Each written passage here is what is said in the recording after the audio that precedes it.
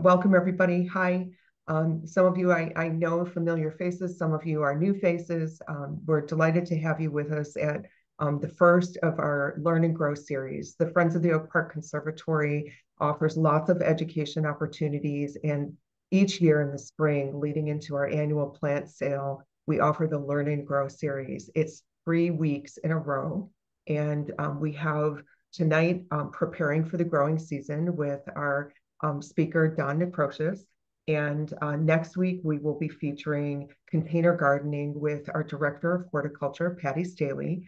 And then in our third week on April 17th, we have a speaker from the um, University of Illinois Extension Master Gardener Program, and um, he will be speaking on pest management for veggies, something we've really never offered before. So I'm very much looking forward to that um, next lecture. So really our mission is to help you be more confident in your garden and all of your gardening endeavors. And that's why we put on this series. We also have all of our previous lectures that were recorded on our website, so you can access those. And this one will be recorded and added um, at the end of the series as well. So um, if you're looking for um, information on dahlias or garlic, um, we have had some of the most wonderful presenters, and um, so go check out our website for more. Um, I do uh, want to emphasize that our annual plant sale, it's our 35th annual plant sale. It is now open to members only. Uh, you can still join before April 14th when we open to the public if you want early access to seeing some of the most glorious plants available for your containers and for your veggie garden. So our um, annual plant sale is underway right now, and it's one of the most exciting times of year um, because all of our volunteers start to come back on a daily basis and they're working in the soil and they're potting up those plants and the greenhouses are filling up to the brim. So you can tell I get very excited about these things, especially the plant sale.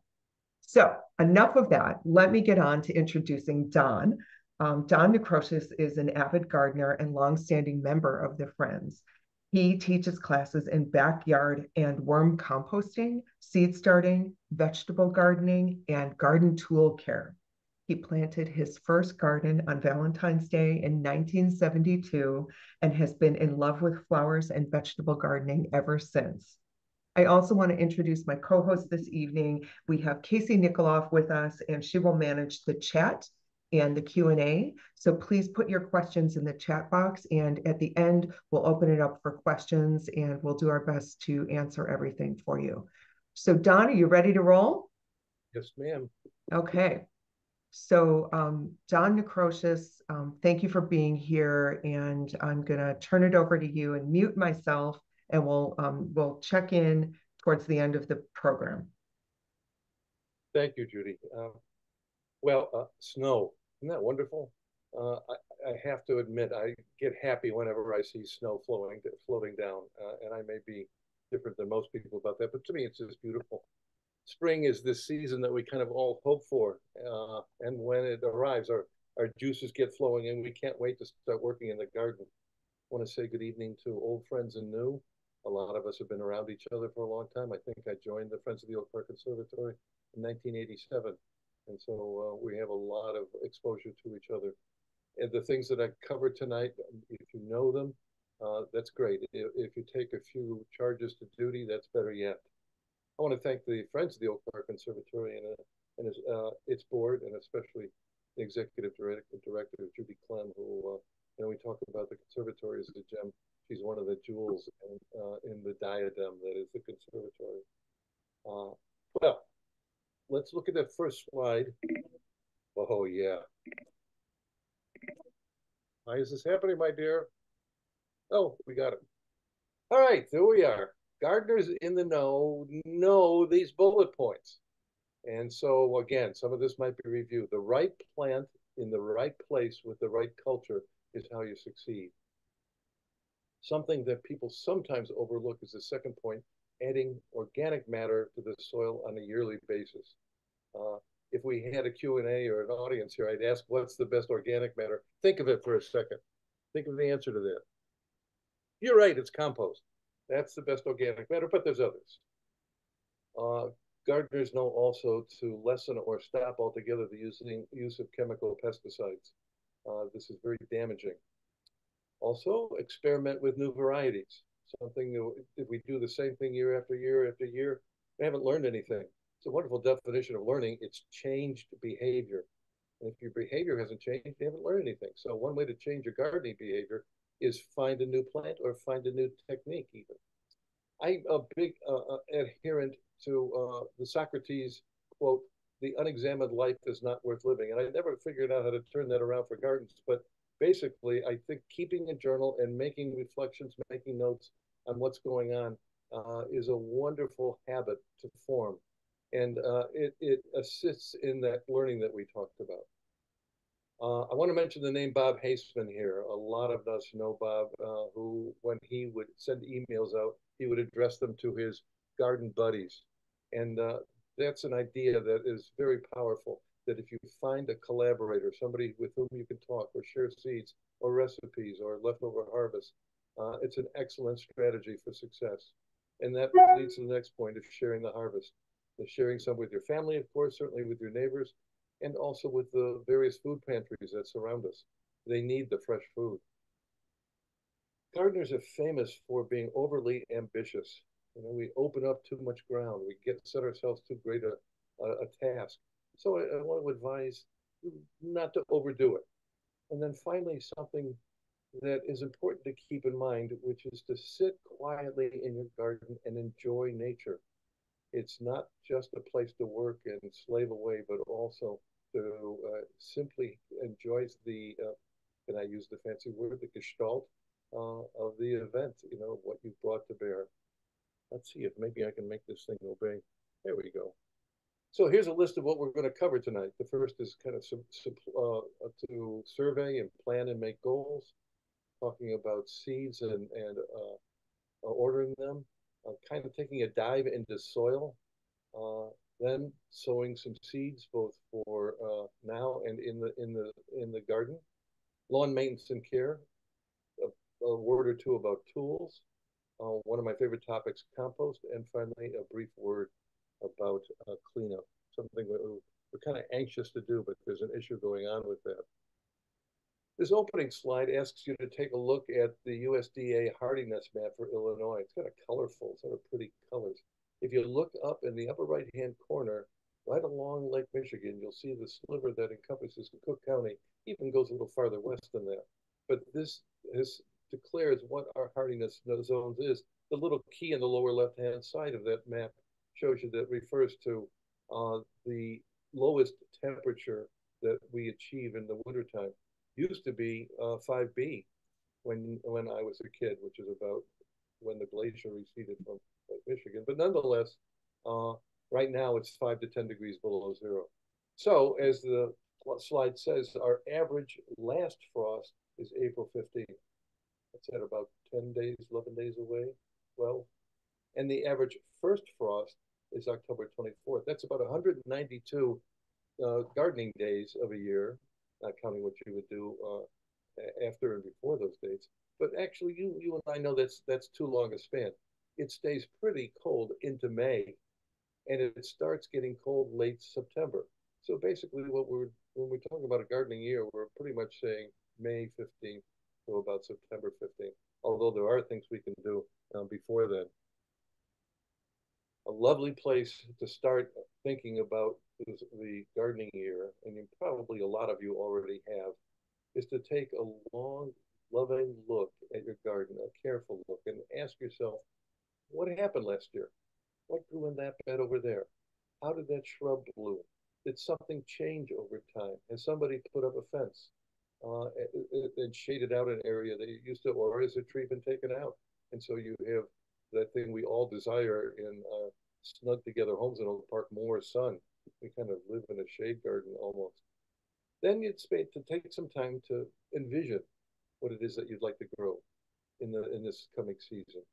And this is where I end by saying, I wish you keep a, a, a gardener's journal. Now you see a kind of commercial form of one right there. I'd like to use composition notebooks they're very, very inexpensive, ready to hand.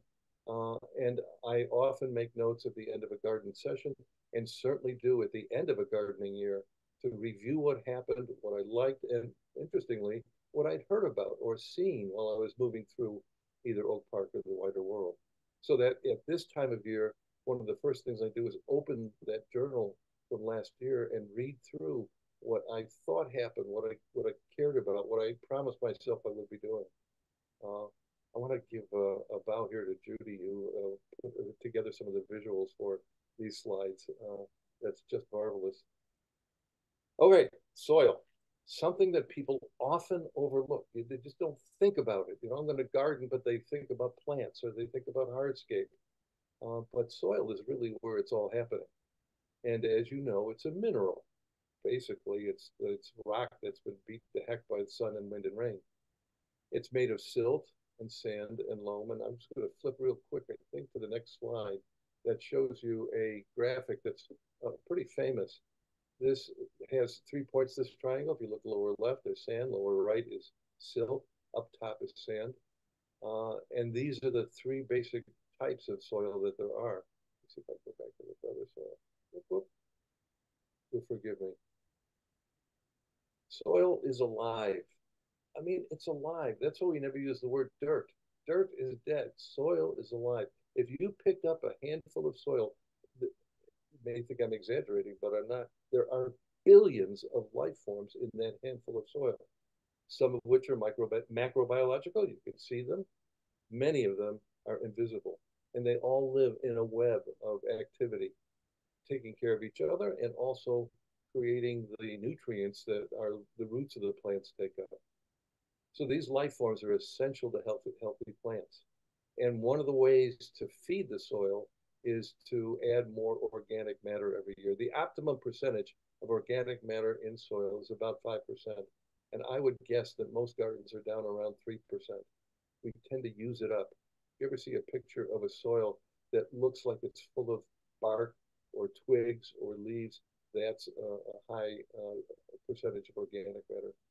As you know, the nutrients that plants need, uh, the three that we see on fertilizer bags, nitrogen, phosphorus, potassium, those are for leaf growth, the nitrogen, phosphorus for stem growth, potassium for withstanding drought and health.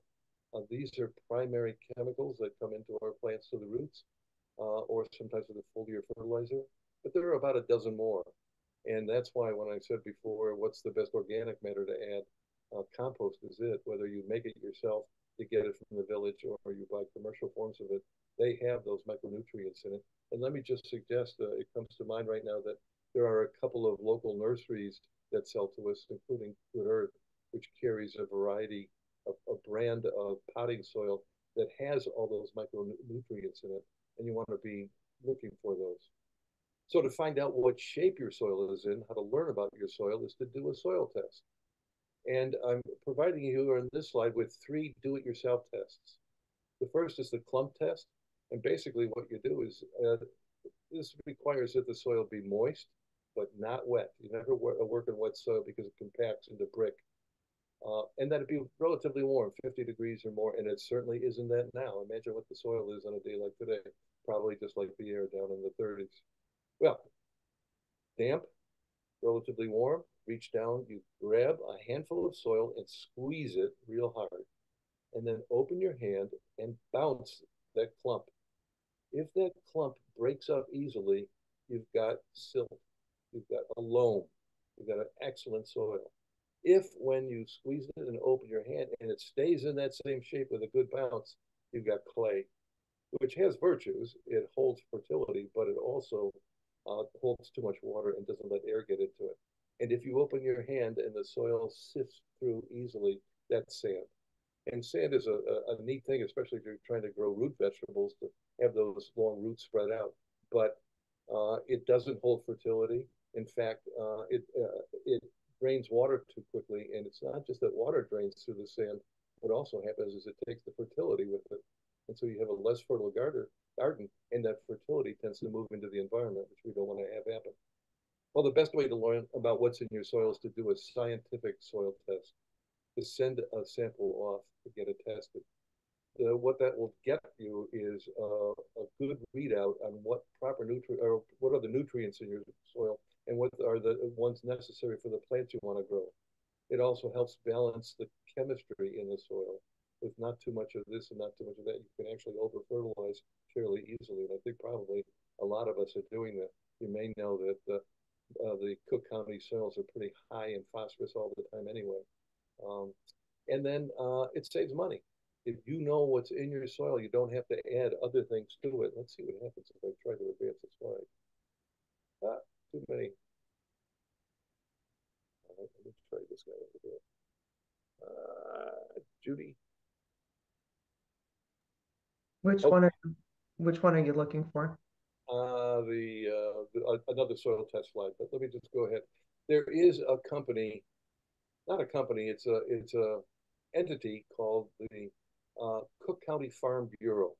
Please don't be put off by the word farm in that title. It really is meant to serve the farmers of Illinois, but it had so many requests on uh, soil tests that it created a special program for garden uh, gardeners who want to test their soil.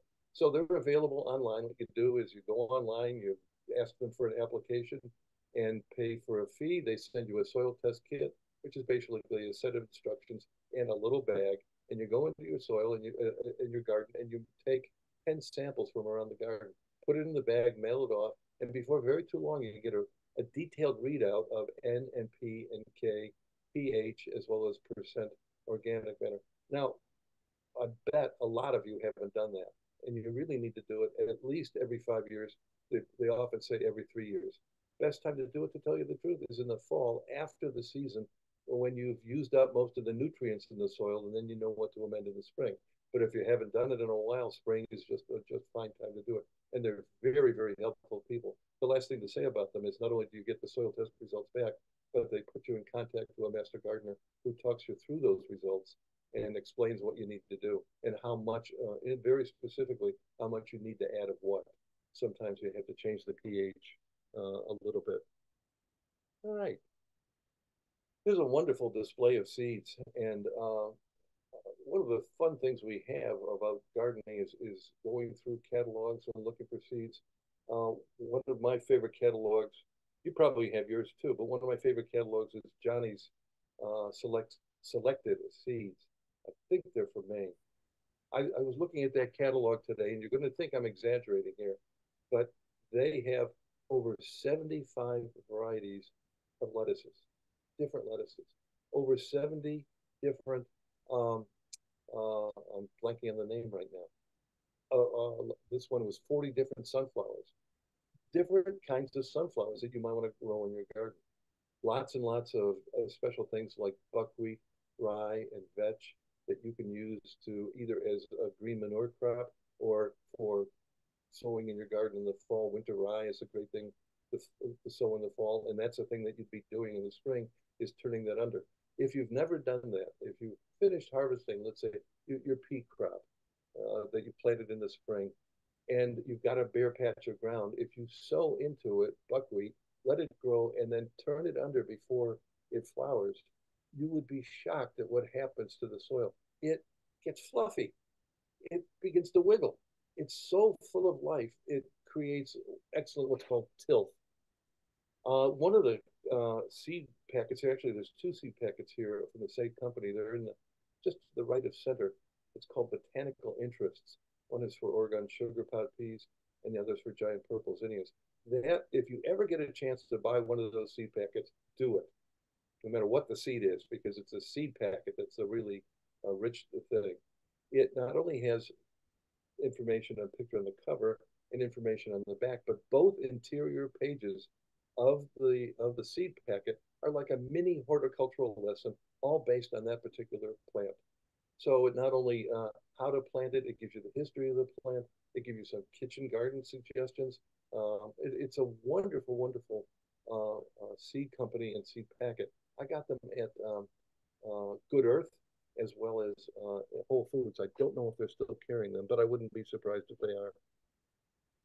Hey, uh, John, it's Judy. If you could just sit a little bit closer to your computer so we can hear you a little bit more.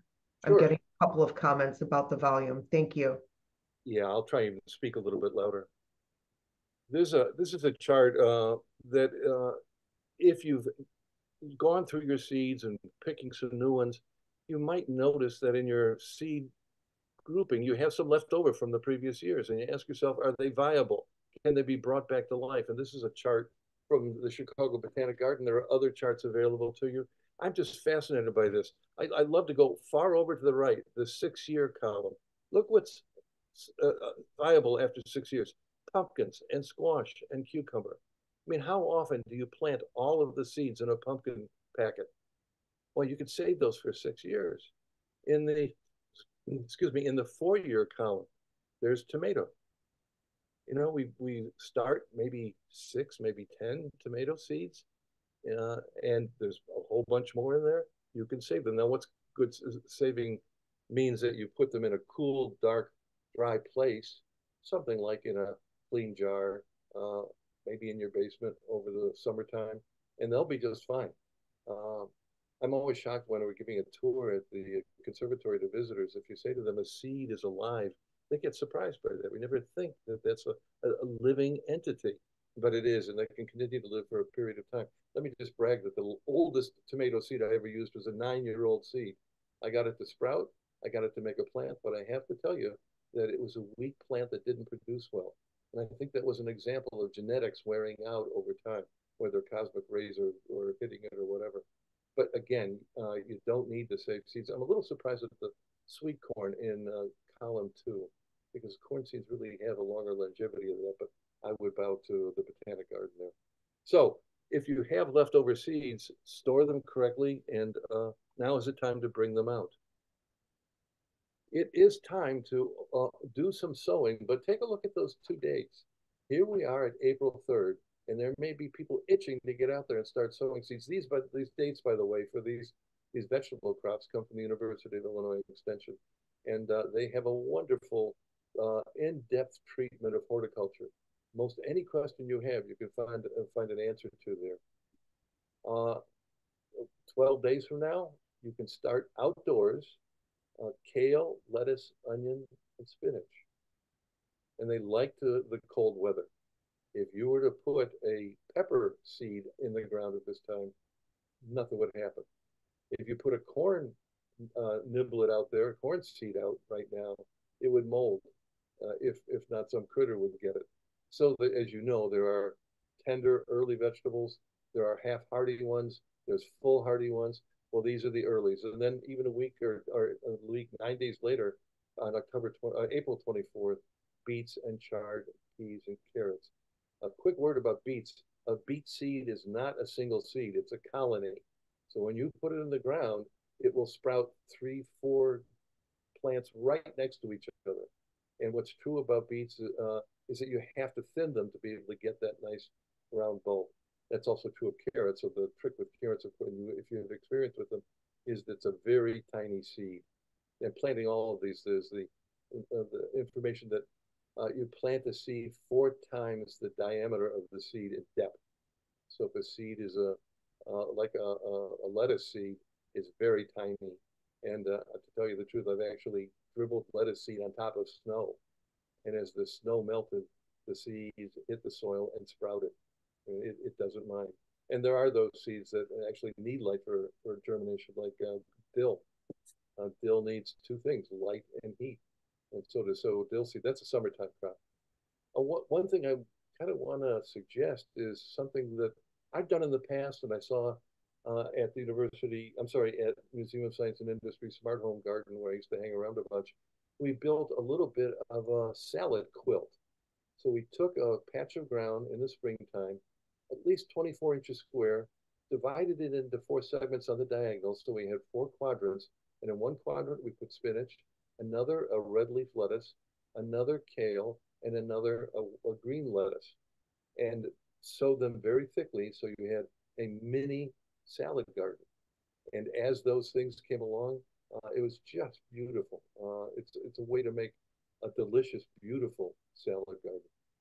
Uh, and just a quick word about peas. Uh, if you're not having too much success with them, it, uh, peas need uh, an enzyme in the soil and there are inoculants for that available to you online. Uh, if you've grown peas in the same place before, that is now already in the soil. And as you know, it's a legume which has uh, nitrogen fixing nodules in the roots, uh, which is um, very helpful to all kinds of plants that grow there. So these are direct sow early vegetables. Quick word about the big three, and the reason I call them the big three is these are the three most popular vegetables grown by home gardeners, tomatoes and cucumber and peppers. And uh, draw your attention to the starting date for tomatoes. Well, maybe go to the second one, the set out date for tomatoes, May 24th. I know a lot of people locally say Mother's Day, which I think is May 12th this year. I may have that wrong. That would be 12 days too soon, according to uh, University of Illinois Extension. And what it really has to do with is the temperature of the soil and the temperature of the air. If you put a tomato plant in the ground when the soil is cold and the air is cold, you actually set it back on its progress of maturation. So you don't want to rush it. And I've seen a lot of examples on social media lately where people have already started the tomato seeds and they're too tall, they're leggy, and they're struggle to deal with. So tomato seeds get planted six to eight weeks before they go in the ground. Working way backward, that's April 15th. That's still 12 days or 13 days or 12 days in front of us. So don't rush it. You still have time to go find some wonderful seeds. Another catalog is a catalog called Totally Tomatoes. Oh, that's what had 75 different, there were 75 different tomatoes in, in Johnny Select Seeds. Can you imagine 75 different tomatoes?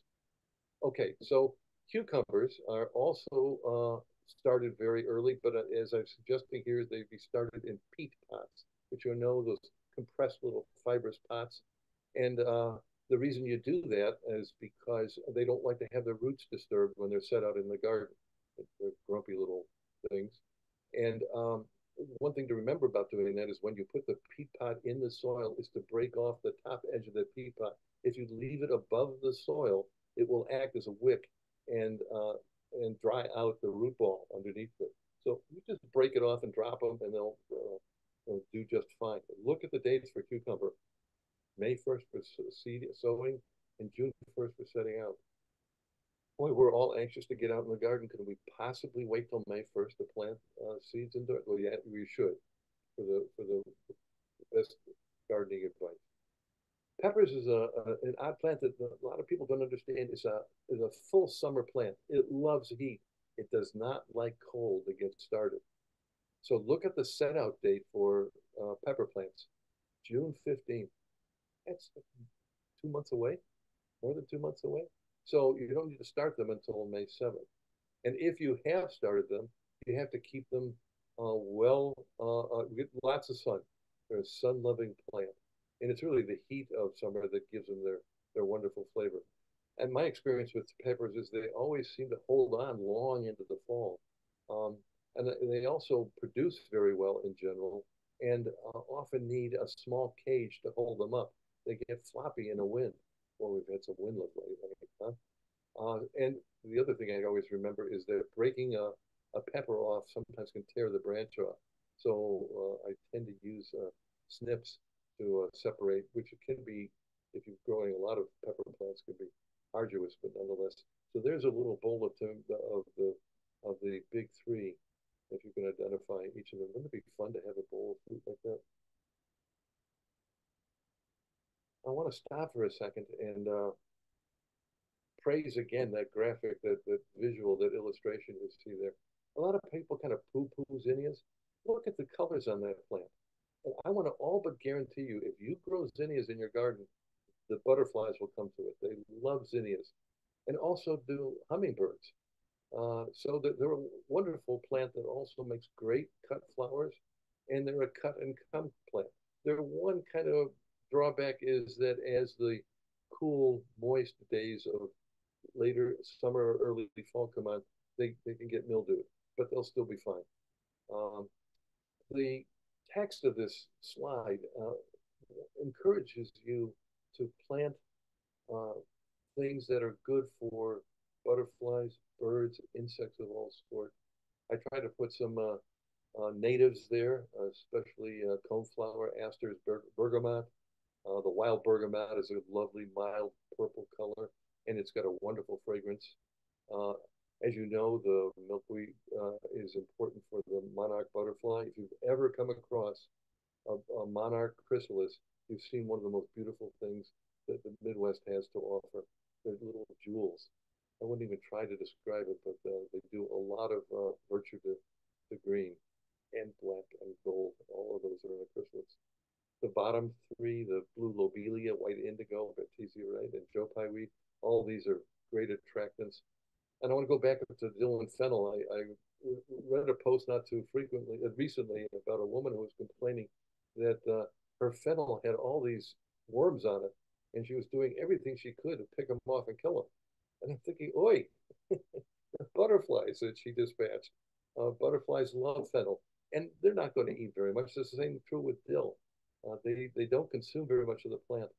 I've also liked parsley as a garden edging instead of you know rocks or or a plastic liner. If you edge curved areas of your garden with parsley, it's just gorgeous as well as a, a wonderful thing to consume to add to all the things that you cook. So I'm going to jump right now into lawn care. Um, I know that uh, there's a lot of disparagement to lawns and, and, you know, talking back to the English tradition of having sheep or uh, servants uh, keep a clip. But, you know, if you think about Oak Park River Forest area, lawns are a beautiful addition to our life. And what's neater than to, to walk along uh, and uh, in your bare feet and to see uh, uh, the grass growing. Nice graphic here as well. You start working with the lawn when it's actively growing, not before. Clean up the uh, debris that's fallen over the winter and compost it. Um, the best thing you can do for long in the springtime is to get a core aeration, which is uh, excavating little divots that leave uh, round little holes all over the lawn. And what that does is it lets air into the roots, which can uh, uh, fail to have because of so much compaction. And that's a really a job for professionals. And then the next thing you would do would be overseed with a good quality grass seed that's dedicated to where you're throwing it, whether it's for shade or heavy traffic or full sun. And then finally, after you've thrown grass seed around, and you don't need a fancy uh, winding uh, dispenser, you just dig your hand in the bag and kind of toss it around lightly in the in the wind, and that does just fine. Uh, also, uh, know that uh, some grass tends to brown out in July and in August. That's because the, it's native to their, they're, adapted to going dormant in the drought that, you know, what happens in August, everything gets dry for a long while. So the grass seed goes dormant, the grass goes dormant and it comes back a lot as the fall rains come on. And you may probably be aware that grass does not grow in full shade. You can try again and again and again, but it just won't happen. And also, what do you top dress with? Well, a half inch of, of uh, finished manure, uh, uh, compost is actually the best, but also so is well-aged manure, which would not have an odor to it. Um, you know, there's there's uh, lawn care companies uh, and product uh, sellers that want to get you to buy a program of five products over a whole growing season. You don't need to do that. The right time to fertilize a lawn is mid-April and mid-September, but not through the summertime. Mow your grass high at least three and a half inches. And the point of that is to keep the roots cool and also keep root the weeds seeds from sprouting. Leave the clippings on the lawn. I never understand why people want to continually lift the clippings and then you have to dispose of them and they go into what? Well, compost, of course. Uh, leave them right on the lawn and there are biological life that will bring them in. I've actually watched worms come up, grab hold of a blade of grass and bring it right down into the burrow. I mean, you're, you're feeding them, you're also saving fertilizer. This it fertilizes the lawn. And uh, if you water the lawn, please make sure that the water stays on the lawn but doesn't get on the sidewalk of the street. It's a it's uh, not a good thing to do. And uh, quickly about lawn mowing, you know, we we mow the lawn 22 times a season. Every time I think of that, it sounds like it's such a chore. My wife and I used to fight with each other about who got to do it. It's a lot of fun. I will say, uh, and I might mention this about tools when you're mowing the lawn, you should wear eye protection because lawn mowers can throw rocks, acorns, whatever that can carry them off a fence or whatever, hitting in the eye. You should uh, also wear closed-toed shoes. This is not the time to wear flip-flops um, when you're mowing the lawn. You have to service a lawnmower every springtime. Uh, it's not just one of those turn the key and off you run. If it's a gas engine a lawnmower, you need to change the spark plug, change especially the air filter, also to uh, check the oil and if it see if it's uh, smudgy or fairly clean, and then add fresh fuel. And a caution here, you should always fuel uh, any machines outside, not in buildings. If you have a spill and a fire, you don't want the building to go up. Both gas-powered lawnmowers and electric-powered lawnmowers have blades that need sharpening every year. You can actually do this yourself. It's a pretty straightforward project. It takes a file, it takes a, a wrench, it takes a stick to belay the, the blade as you're taking it off. But if you're not a little bit handy and you're trepidatious about that, take the lawnmower to a lawn care professional. It really should be sharpened. It does a much better job. We uh, often think about tools in a garden. Those of you uh, who have taken my long uh, tool care workshop, you poor sufferers, remember uh, the kind of mantra uh, you should keep your tools clean, in good repair, sharp, uh, lubricated, and stored correctly. Those are the five topics we always dealt with in that workshop. There's a brief list of, of tools that you would have, but you probably have your own kit that you use. And I hope that you do keep them clean. It's I always advise that at the end of a gardening session, you clean your tools before you put them away. That way, when you start the next gardening session, you've got clean tools to work with. A sharp tool is a safe tool. It's not only safe for you, you to use, but it respects the plant that you're going to work on too, because it does a good, efficient cut rather than crushing it and opening the plant uh, to insects or disease. Uh, in the second column, all the way down to the bottom, is one of my favorite tools, is a garden knife. Uh, this is about 10 inches long, nice wide stainless steel blade, serrated on one side. And it's a wonderful tool for lots of different uh, uses for stirring, for mixing, for helping dislodge a plant from a pot, from cutting perennial uh, clumps into pieces. It's a great tool. Uh, fits very well in the hand. So if, if there's anything there that you need, uh, now's the time to go shopping for them. Um, I don't know if any of you are tall like I am, but uh, one of the problems I have with long handled tools is they are made by people in Asia, and people in Asia are short. So their long handles are short, which ache my back all the time. So I find really quality long handled tools at uh, resale, either uh, uh, rummage sales or uh, secondhand stores those tools are much longer handled and much easier for me to use. And I think the next slide will show you my daughter's favorite gardening tool in the upper right hand corner there is a what's called a stirrup hoe. Stirrup, obviously, for that uh, uh, thing that's attached to a horse's saddle that allows the rider to, to control, is sit high in the saddle and control. Maybe you know that was the thing that kept them, that allowed the Mongols to uh, uh, to take over Europe. Uh, they developed the stirrup for the writing. Anyway, that's a wonderful little tool. Its long handle is, if you can see, it's got a little hinge right above the metal loop. And so when you push it, it bends one way. When you pull it, it kind of wiggles back the other way. And it's great for sliding right through the top of a soil, cutting the weeds off right below the surface of the soil. And a very efficient tool. My daughter just loves it. And there you see on the left a uh, the mantra about keeping tools uh, clean. you should check them at this time of year. If you had a tool that was kind of wonky, and, and this can happen, especially to any hinge tool, by using them hard. Sometimes I, I know I've, I've done this. I've used a, a, pair of loppers right up against the fence trying to take out a, a, a, vagrant shrub and I would grab hold of that and give it a good yank, this this lopper, and I'd be holding onto the chain link fence and ruin the blade. Then you can fix that, but oftentimes we don't do that right at that moment. So this is the time to check. There's there's by the way the the lubricants I strongly encourage for wooden handles, sand the handles down and cover them with boiled linseed oil. They'll take on a great patina and, and it actually brings life back to the wood.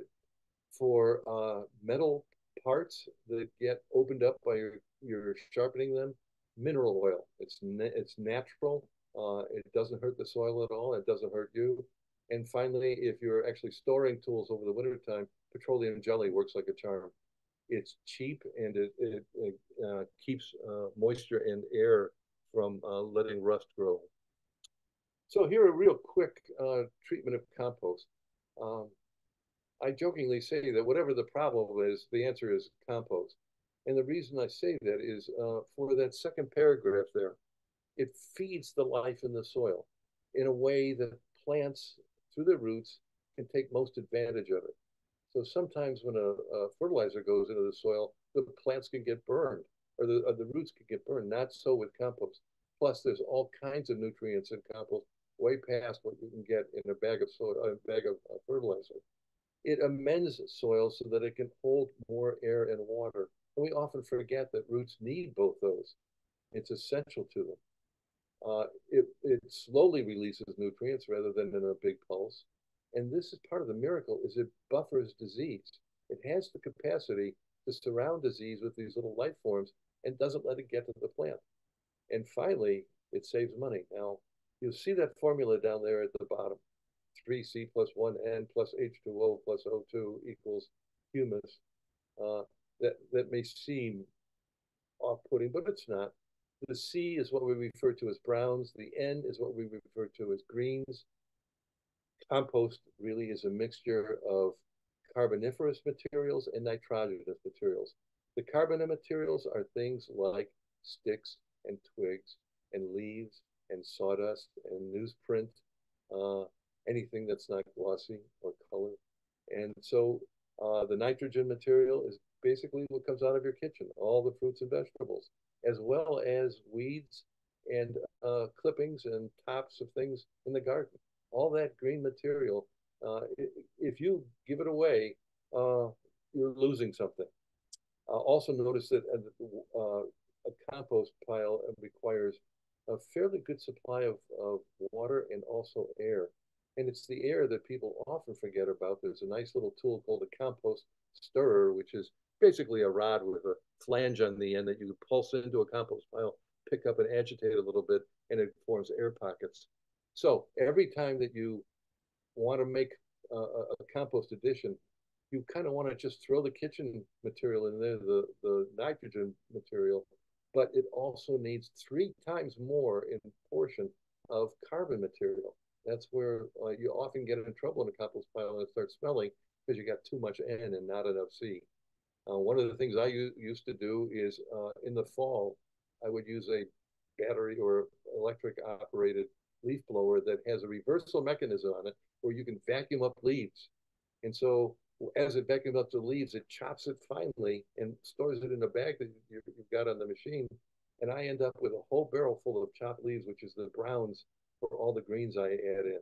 Um, the other, the only other thing that you'd want to add to a compost pile is about a half a shovel full of dirt. That's all the inoculation you need. You never need buy a commercial inoculant because all the life forms are in there. And I strongly suggest that compost piles be situated right on the soil so that critters like worms and whatnot can migrate up through. Is compost valuable? Well, perhaps you know that the village is a composting program. You can get in on that, get an extra uh, container out behind your house where compost goes in, and they take it off and compost it at a commercial facility. And then every Thursday, starting in April, a truckload of compost is brought to Rehm Pool parking lot. It's dumped on Thursday, and by Friday evening, it's all gone. That's how valuable that compost is. You almost can't get to it. And of course, it's not for the public.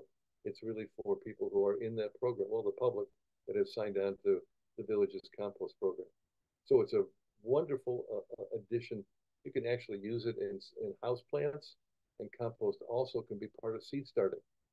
Uh, if you mix about 20% of your seed starting mix with, with compost, the seeds just love it, and it also does those things like suppresses disease. So what do you do with it? You top dress beds. Uh, one of the things that you would do at this time of year in the spring with compost is to lay an inch two inches of compost over the top of the bed. Work it if you work it in if you'd like. Uh, it's time to renovate the compost pile, which uh, if you have a, a one that you can actually dump everything out, that's basically the best thing to do. Harvest the finished compost and the stuff that isn't finished, or forms the basis for what's coming forward. Again, just a reminder, three times brown, one times greens, and water, and aerating by stirring or tossing. Uh, let me just say, uh, I wasn't always a composter, but uh, I thought, you know, why not try this thing? So what I did is I took the bottom, I cut the bottom off a 50 gallon garbage barrel and drilled quarter inch holes all the way around it. So I had a barrel that was light I mean, you could lift it up with one hand. And so I began to put everything in it that I talked about. Waste from the kitchen, stuff around the garden. I stupidly put stuff in like rib bones, and one year the whole turkey carcass, which was wrong. I didn't know any better at the time. But what was neat about this barrel is I could lift it up very easily, put it on the side, and then rebuild it with the top that's in the compost pile before it goes in the bottom, just flips it over. And whenever I did that, it ate itself down in half. It taught me that there was a life form going on there. And then I took training in composting. And that's still a, a very good, simple system. Um, but uh, the thing that I learned by getting more into compost is I, I, I became much more aware of the life that's going on in a garden other than just the plants. And it made me a better gardener. I, I cared more about the plants. I cared a lot more about the soil. And I also reserved those nutrients that otherwise would be leaving the joint. And I got a lot of free, very high quality stuff. Uh, garden gold is often the phrase used to uh, describe uh, composting. Sorry if the volume keeps going down on me. That's I keep leaning back. Well, Bob Haseman never looked like that. Uh, yodeling uh, stuff. Uh, please remember that uh, you, you do want to enjoy your garden, not to get so busy that uh, you don't sit down and enjoy it. Do think about uh, plans for the year, make specific goals.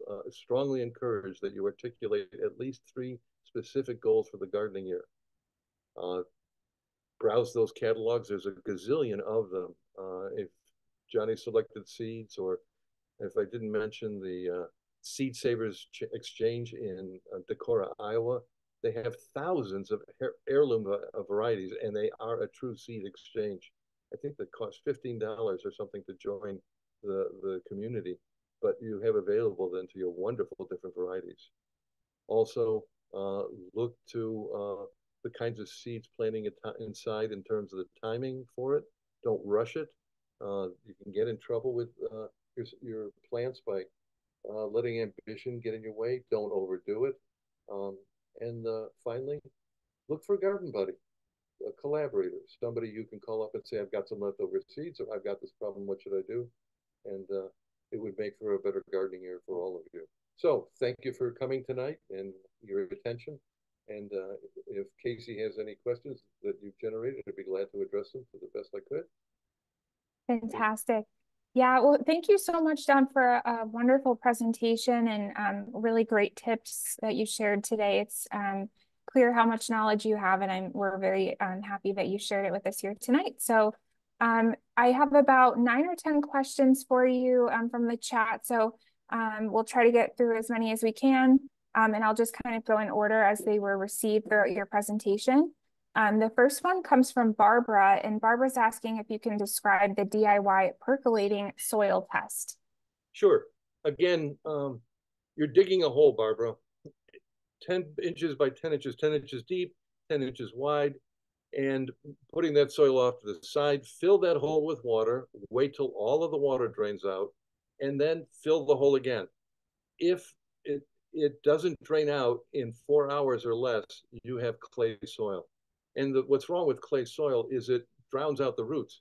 It can't get the oxygen that it needs. So that's the kind of soil that you would try to amend. To tell you the truth, it's very difficult to change a soil profile. So that's the kind of case where if you have a soil that's that um, logged uh, with water, you might want a raised bed uh, or uh, growing in containers or these wonderful uh, flow, uh, uh, fabric pots. I've often grown root vegetables in fabric pots. So I hope that answers the question, Barbara. Great. Thank you, Don. Appreciate it. And um, Barbara, let us know if you have any follow-up questions. Um, and then Sue has a couple of questions about lettuce.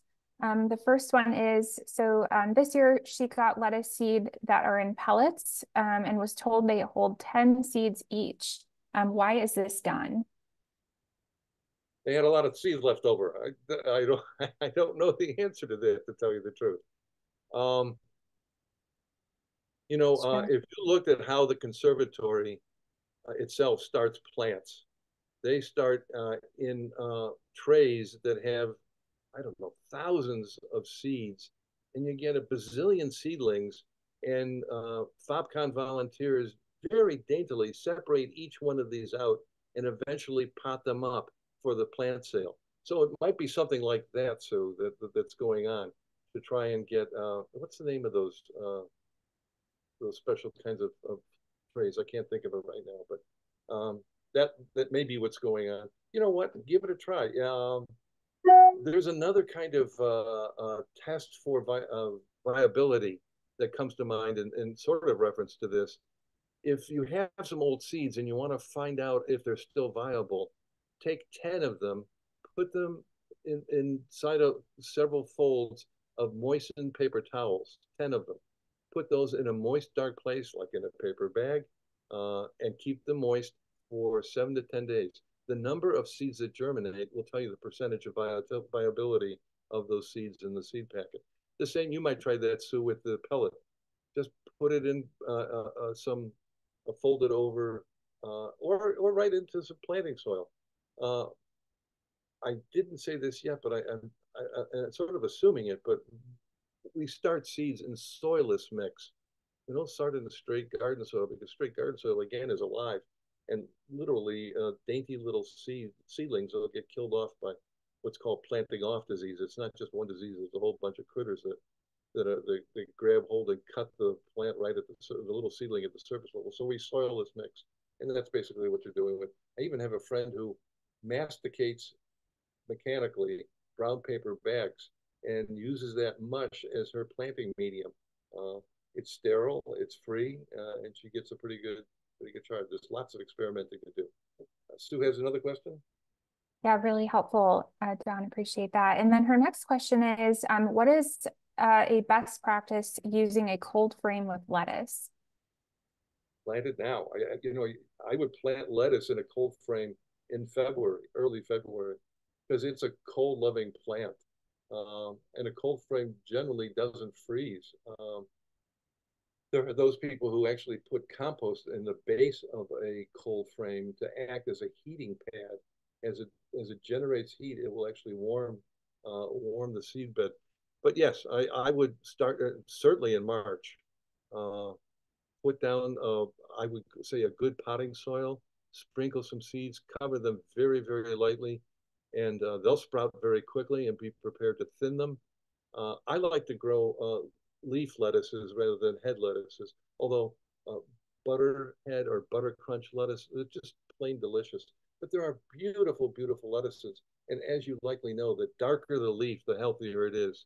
So there are some lettuces like red sails. that's a, a beautiful lettuce. There's oak leaf lettuce, the leaves look like oak. I mean, it, lettuce is just a wonderful crop. And, and really we should be growing our own. It's not cheap in the store. I don't know what is, maybe the air. Yes, another Sue? That's great. Appreciate that. So um, actually now we have a couple of questions from Judy. Um, and her first question is, um, for the big three, are we starting seeds for these plants indoors or is it direct sow? Uh, for tomatoes? Is that the question? Yes, indoors. Yeah. yeah. Uh, it's funny. I, have actually looked at one site where uh, uh, a gentleman gardener suggested that we start tomato seeds outdoors. And as I thought about it, uh, tomatoes are part of what's called the Solanum family. And that includes potatoes as well as tomatoes. Actually, peppers are in that same family. And the trouble with peppers, I'm sorry, with potatoes and tomatoes is they attract disease and that disease falls off the plants and gets into the soil and so if you continue to plant tomatoes or potatoes in the same place, you're going to get disease plants moving forward. So the, the point of all that is at the end of a growing season, both those plant families need to be completely cleaned out of a garden, leave nothing behind. And then, and if you've ever grown potatoes, you often get these little tiny marbles that are in the soil. Those should go too. Uh, but uh, if you've ever left a tomato in the garden over winter, the shock is that right about now you see a little tomato seedling coming up.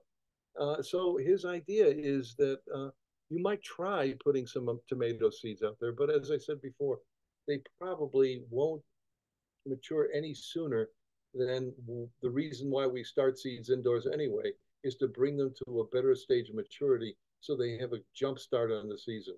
It's just you don't want to harm them by uh, by uh, stunting them or setting them back when you set them in a cold soil. You know, you get warm soil by covering it with either plastic or uh, maybe you've seen those little uh, tomato towers. They look like uh, uh little pockets, little cells of water that tomatoes are planted inside of, and that they form a little greenhouse there.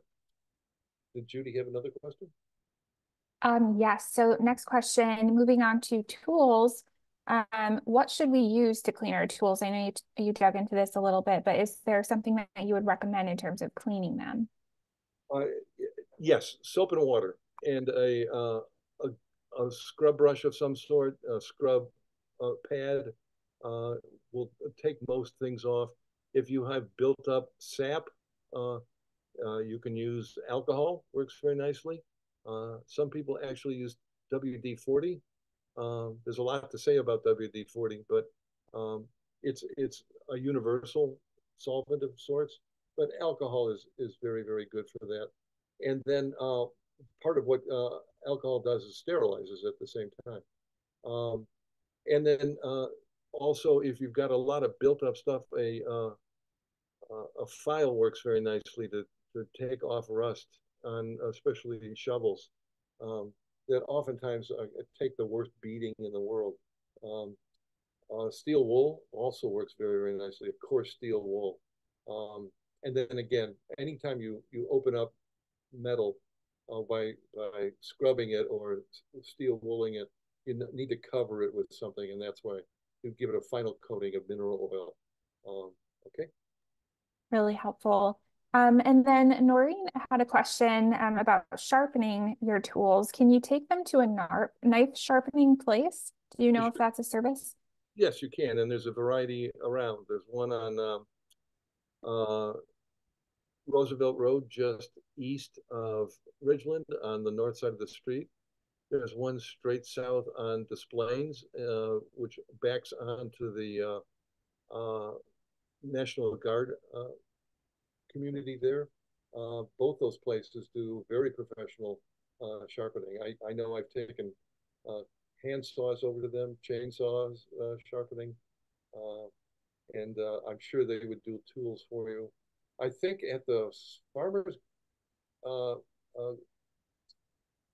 what's the what's the uh, what's in the church parking lot in the summer? The case. Well, the farmers market. The farmers market for the last last season, there was a gentleman there who was sharpening uh, tools. It's not hard to learn to sharpen. You just have to be patient. And, you know, if you go into any hardware store, especially the, you know, here in Oak Park, uh, there's one, and out in Forest Park, there's one. They have on the on the wall uh, whetstones, and uh, basically what you're doing with sharpening a knife is reproducing the angle of uh, the blade that's already on there. And um, uh, I, I have to put a a, uh, a mention of, of YouTube here. YouTube, if no matter what it is you want to do, YouTube will tell you how to do it. Sometimes even wrong, but uh, I found it very, very helpful. Uh, I'm about to wake up a couple of chainsaws, and I'm going to go back to YouTube and get my lessons again about what what they need to uh, to come alive again. Even though I, you know, if you don't do something for a bunch of months, you forget. So anyway, YouTube's a very good source for learning how to to sharpen things. Very helpful. Appreciate that. And as you were talking, Sue also mentioned in the chat the the um, sharpener at the farmers market. So um, good tip, definitely. Um, Noreen, um, you also had a question. So um, what are ideas for lawns with lots of creeping Charlie, etc.? Uh, first, uh, we should have a vigilante group to find the people who imported that plant.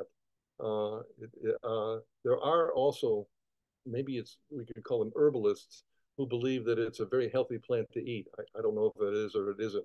I do know that it teaches a person to curse because it is an awful plant. I think its botanical name is it's either glaucoma or glaucoma. I think it's glaucoma, and um, uh, it's very, very, very difficult to get with a, rid of. There was a sort of how do I put this a uh, a hippie uh, treatment for um, for ground ivy is another name for it, which is to spread borax uh, on the uh, creeping Charlie, and that would suppress it.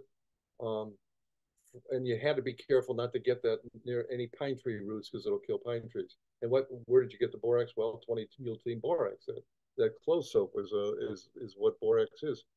Uh, it never worked. I tried it a bunch of times, and then you got boraxy soil.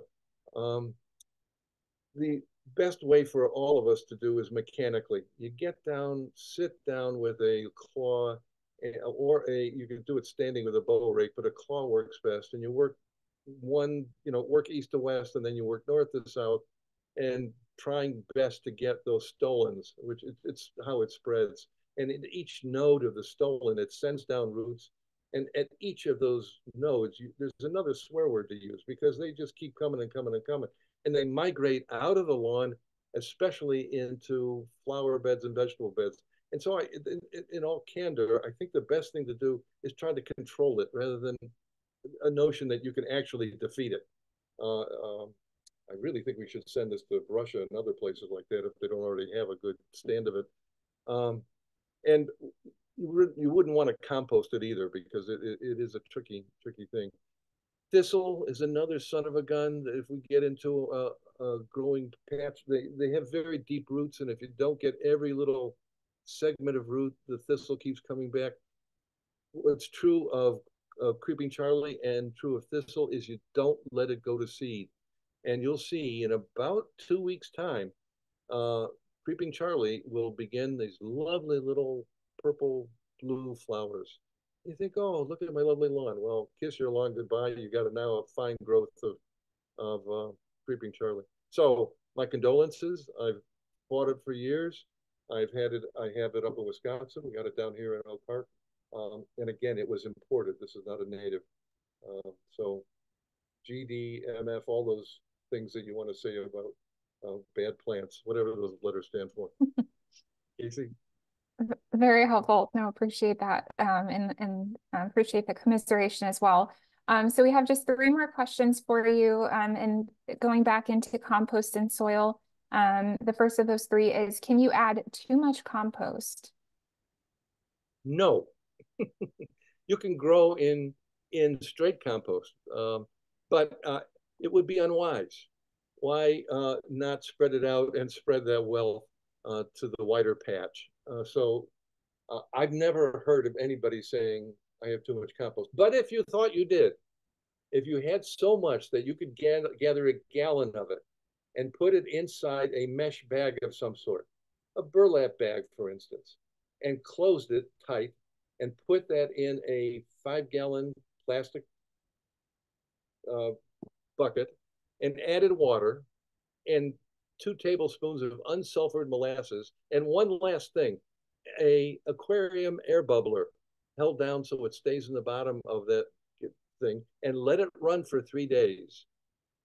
What you would have is what's called compost tea, which is a wonderful, wonderful uh, solution to spread either in your uh, garden. I, I used it on house plants it, it just does wonders for, for plants because it, it's like an instant pulse of, of wonderful fertility. So if you've got too much compost, try to make compost tea. It's not all that complex to do, uh, and it, it requires that you have some finished compost to work with initially. And if you know somebody who composts and you want to do this, just try to get a, a gallon's worth of compost from. That's not all that much. Casey? Right. Um, and then uh, Noreen also had a question. Um, so she has almost whole leaves sitting in her garden from the fall. Um, should she remove them or turn them into the soil? Oh, good for you. Good for you. One of the things that we want to change about how people approach their garden, uh, there's an aesthetic out there that a garden should be clean. And, and so you see a lot around Oak Park, people have taken their gardens down to bare soil already. I, I have to say, so also has the Park District cut down most of their vegetation as I move around. I, I mean to talk to somebody about that. Uh, I, would have to find somebody who's on the board. Uh, I wonder if Sandy still does. So anyway, um, you want to leave the leaves on the ground as long as possible. How long? Well, until the weather settles, until the air temperature is a reliable 55 degrees for seven to 10 days. That's the official recommendation. And why do that? that's when the insects that have uh, uh, burrowed into all of those uh, parts of plants come uh, germ uh, come back alive. They rejuvenate. And if you cut that stuff down and get rid of all that, you've lost all of that uh, material that, you know, the, the insects feed each other. And some insects are very beneficial in the garden, like pollinators. Insects also feed birds, and birds are wonderful uh, uh, uh, uh take out and all. I mean, um, I don't know if you know, but a, a, hummingbird will eat as much as a thousand mosquitoes a day. And, uh, I'm all for it. I, uh, so anyway, yes, leave the leaves in your garden. Uh, there's a slide somewhere that shows, a, a, I saw a garden across from Longfellow School's entrance that was chock-a-block loaded with seeds, of uh, leaves, and daffodils had come up and some spring ephemerals had come up. So they'll come right up through. Um, what you don't want is too thick a mat of, of leaves because it will actually act uh, to grow uh, fungus underneath there. Uh, and so in the fall, uh, the best thing to do with leaves is bury them. Uh, in, in all of the finished areas of your garden, bury as much leaves as you possibly can. and I'm, I'm not exaggerating here. Dig a ditch, fill the ditch full of leaves, put all the soil back in the ditch. In the spring, you won't find a leaf what you'll find is a bazillion worms uh, who are leaving worm castings all over the place. Um, so uh, yes, uh, you know, move those leaves around a little bit. If uh, if no uh, moisture is getting through, you really need to kind of break them up a little bit. But if it is very moist underneath there, wait for a little while. Wait for another. I don't know. I would wait till May to actually take it off. But for a lot of people, can't they can't stand that waiting, I understand it completely. So stretch your aesthetic as long as you possibly can for the benefit benefit of the insects. And part of this all is a, to account for the change in uh, for climate change, is that uh, there's so many more fewer insects, uh, uh as you may well know. So very very many fewer birds, and we're talking per significant percentage fewer birds, um, uh, as well as insects those of you who have been alive long enough and have driven through the countryside in the summer know that your windshields used to get all pockmarked full of insects. Nowadays, that's not the case anymore. It's a fair test of uh, what's happening out in nature. And, uh, and I dare say it's billions of birds that are going now, uh, both species and also in, within species numbers. So you, we all want to do our best to support that. And the more that there are support for that in terms of plants and insect life for the birds, uh, it's a healthier ecosystem. We really do belong to nature, and when we grow a garden, we're hosting nature, and you take advantage of it. Did somebody just clip me out of existence there? We no. still see you. yeah. Go ahead. Um, do we have okay. one or two more questions, Casey, and then we'll wrap? Yes. Okay. Perfect. We have just one more question, and um, appreciate that great message that you shared um, Don. Our last question um, is hopefully an easy one for you. Um, can you recommend a soil?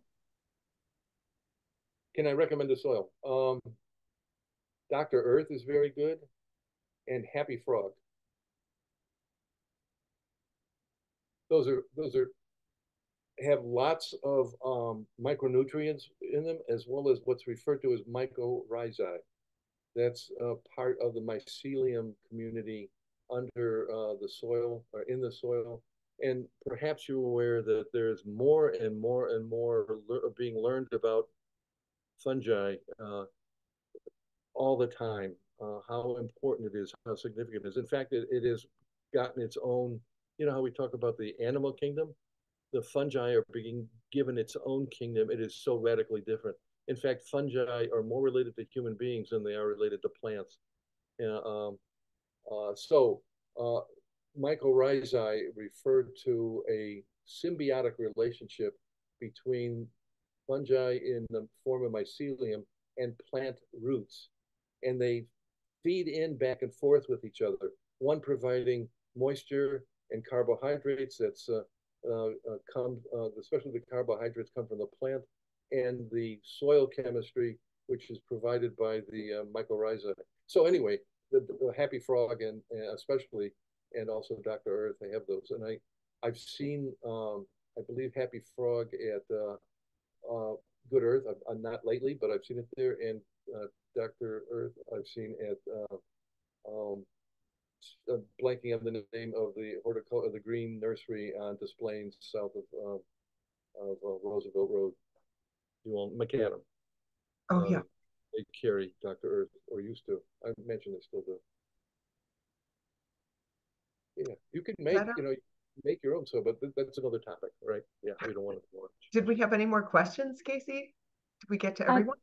I think we got everyone. Oh, yeah. Okay. So uh, let me first um, say thank you, thank you, thank you to Don um, for presenting uh, to us this evening. Um, you just got the tip of the iceberg. He's so full of knowledge and um, just information about how to help you um, be successful in your garden. But then he also encourages us to experiment and test it out. So don't be afraid of trying something new. And um, I really like that encouragement. So um, thank you so much, Don.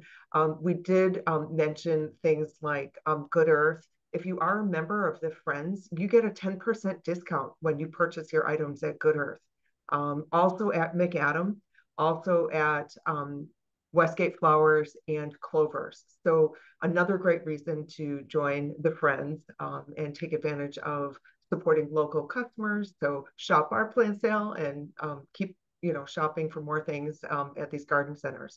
So anyway, um, I want to thank you all for joining us this evening. It was really, really interesting. And um, I think when we all signed up, we weren't sure what this topic was going to be. We just knew it was going to help us level set our heads for what was coming in the spring. And I think you did a great job of covering a wide range of information.